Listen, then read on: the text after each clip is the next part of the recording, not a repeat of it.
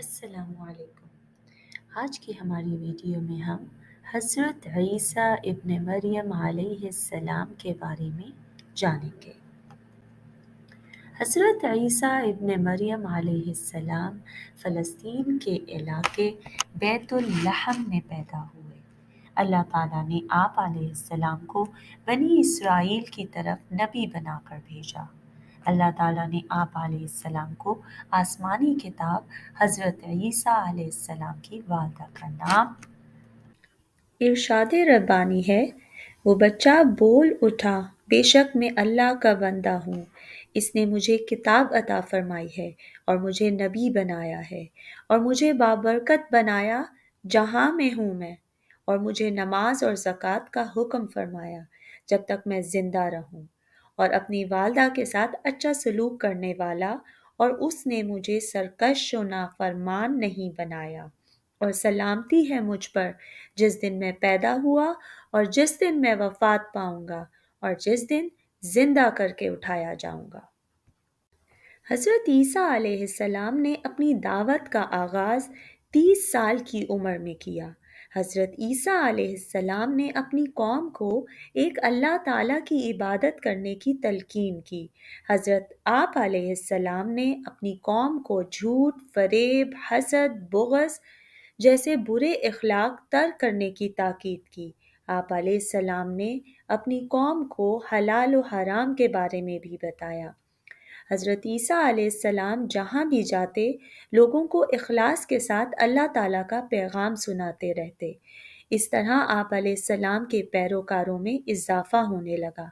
ये बात आप सलाम के मुखालफी के लिए नाकबिल बर्दाश्त थी। उन्होंने हुकूमत वक्त के साथ मिलकर आप सलाम की जान लेने की कोशिश की।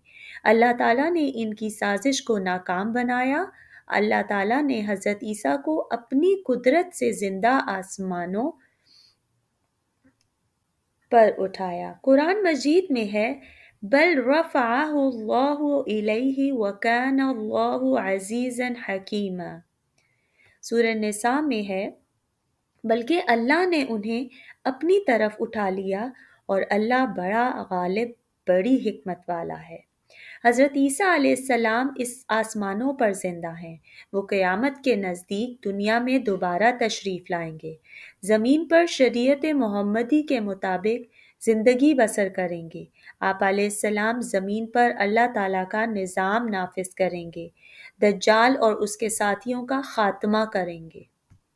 हज़रत ईसा सलाम के मौजात आप मिट्टी का परिंदा बनाकर उसमें फूंक मारते तो वो अल्लाह ताला के हुक्म से उड़ना शुरू कर देता। आप पैदाइशी अंधे और कोड़ के मरीज़ को अल्लाह ताला के हुक्म से शिफा याब कर देते। अल्लाह ताला के हुक्म से आप मुर्दों को ज़िंदा कर देते। आप सलाम अल्लाह ताला के हुक्म से लोगों को बता देते थे कि वो क्या खाकर आए हैं और उनके घरों में क्या कुछ मौजूद है। हज़रत ईसा सलाम अल्लाह ताला के सच्चे नबी और रसूल हैं। आप सलाम की ज़िंदगी में हमारे लिए ये नसीहत है कि हम दीन का काम खालिस इखलास से करें और मुश्किलात और परेशानियों से हरगिज़ ना घबराएँ। क्योंकि अल्लाह ताला ने अपने नेक बंदों की हर हाल में मदद करता है और उन्हें कभी बेयारो मददगार नहीं छोड़ता। जो लोग दीन की खातिर सख्तियाँ बर्दाश्त करते हैं, उन्हें आखिरत में कामयाबी मिलेगी और अपने रब की बारगाह में सुरखरू होंगे। मेरी वीडियो वॉच करने का और सुनने का बहुत शुक्रिया। आपके नॉलेज के इजाफे के लिए मैं इस तरह की वीडियोस और लेकर आती रहूँगी। तो चैनल को सब्सक्राइब और लाइक करना ना भूलिएगा। शुक्रिया।